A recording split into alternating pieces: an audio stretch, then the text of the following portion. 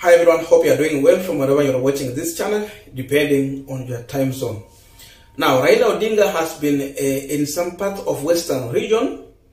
Uh, for those who remember, he was somewhere in Luanda. Luanda is part of uh, Vihiga County, of course, for an impromptu visit to, in the company of uh, uh, President Uhuru Kenyatta. And then also there was another event that was organized in uh, Busia County, which was so much amazing. Of course, it was there.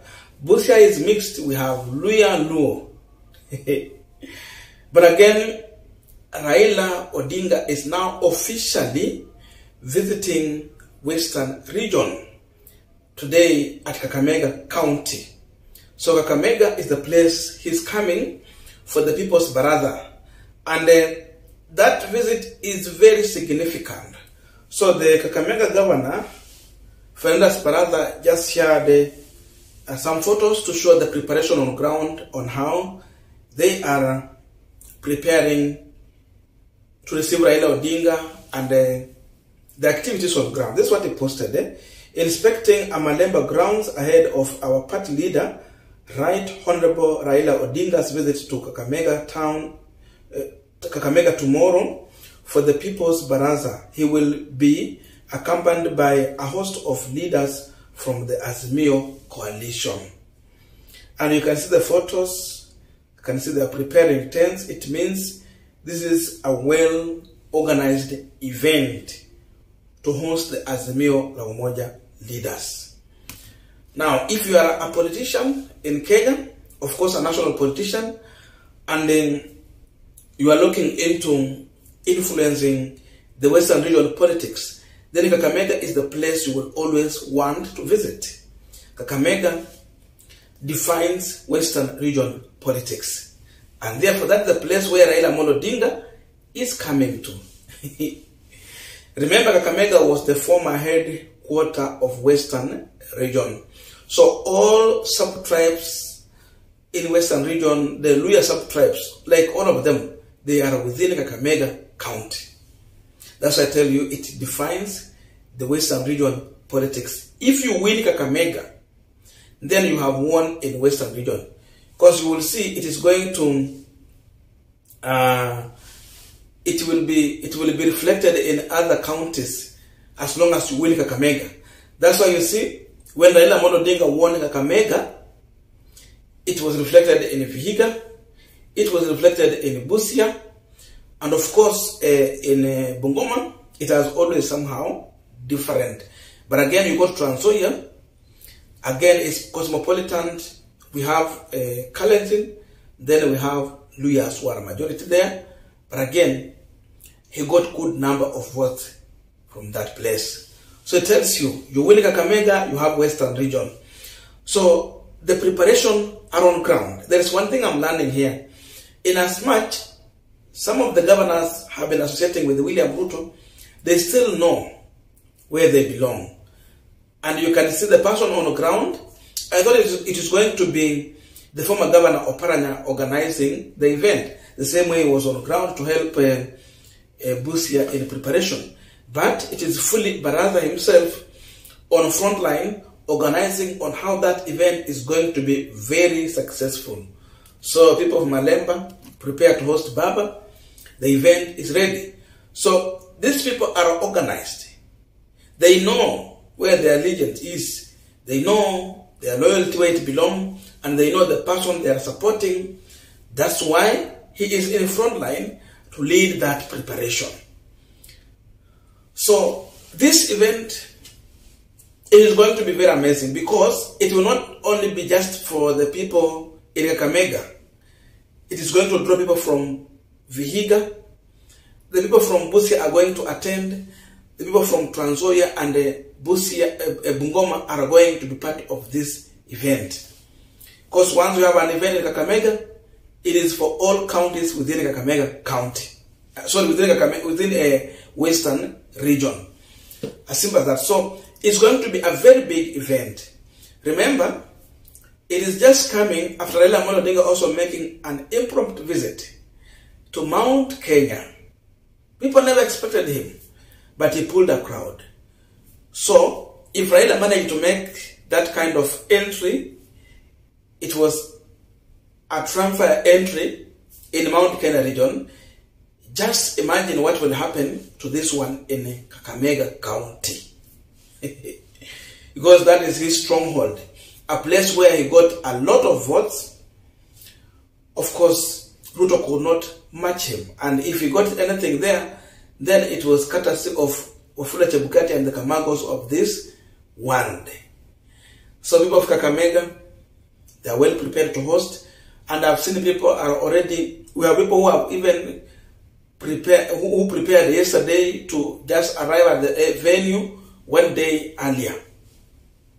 And we have those who will just make it in the morning to the same place. So Raila is going there to plant a sense of political direction. Already they support him, but it's just there to remind them. And by the way, I've seen even through the comment section, people are saying that hunger does not know a Kalenjin, a Luhya, a Kikuyu, a Kamba, or a Luo. Njaa ni njaa, haijui kabila yoyote. And that's the truth. So, the main reason why people are going to troop to this event in huge numbers is because people have lacked hope in William Ruto's government. There's no total hope. Nothing. And therefore, they are hungry.